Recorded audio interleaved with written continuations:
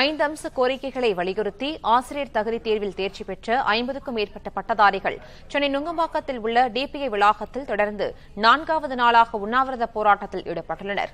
கூடுதல் விவரங்களை செய்தியாளர் வினீஷ் சரவணன் வழங்க கேட்கலாம். வணக்கம் வினீஷ். இந்த உண்ணாவிரத போராட்டம் தொடர்பான முழு விவரங்களை பகிர்ந்து கொள்ளலாம்.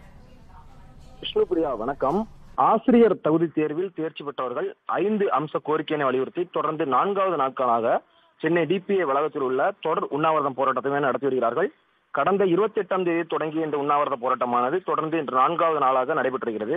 இந்த போராட்டத்தை பொறுத்தவரை தமிழ்நாட்டின் பல்வேறு மாவட்டங்களிலிருந்து வந்த பட்டதாரிகள் தொடர்ச்சியாக உண்ணாவிரதம் மேற்கொண்டு வருகிறார்கள். ஒரு சில பெண் பட்டதாரிகள் தங்களது கை குழந்தைகளுடன் வந்து போராட்டத்தை மேற்கொண்டு வருகிறார்கள். இந்த போராட்டத்தில் ஈடுபட்டு வரும் பட்டதாரிகள் ஐந்து அம்ச கோரிக்கைகளை தமிழ்நாடு அரசுக்கு வலியுறுத்துகிறார்கள். அந்த ஐந்து அம்ச கோரிக்கைகளை பொறுத்தவரை ஆசிரியர் தகுதி தேர்வில் தேர்ச்சி பெற்ற ஆசிரியர்களுக்கான மறு நியமன தேர்வு என்ற அரசாணையை நூத்தி நாற்பத்தி ஒன்பது நீக்கம் செய்ய வேண்டும். கடந்த சட்டமன்ற தேர்தலில் திமுக தேர்தல் அறிக்கை நூத்தி இருபத்தி ஏழை உடனடியாக நிறைவேற்ற வேண்டும்.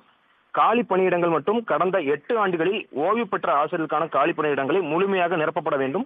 ஒன்பது ஆண்டுகளாக அரசு பள்ளிகளில் நிரப்பப்படாத ஆசிரியர் காலி பணியிடங்களை ஆசிரியர் தகுதி தேர்வில் தேர்ச்சி பெற்ற ஆசிரியர்களை கொண்டு போர்க்கால அடிப்படையில் உடனடியாக நிரப்பப்பட வேண்டும். இடஒதுக்கீடு முறையை சரியாக பின்பற்றி ஆசிரியர்களை நிரப்பப்பட வேண்டும் எனவும் டெட் மதிப்பெண் மற்றும் employment seniority cum TET seniority ஆகியவற்றை கருத்தில் கொண்டு ஆசிரியர் காலி பணியிடங்கள் நிரப்ப வேண்டும்.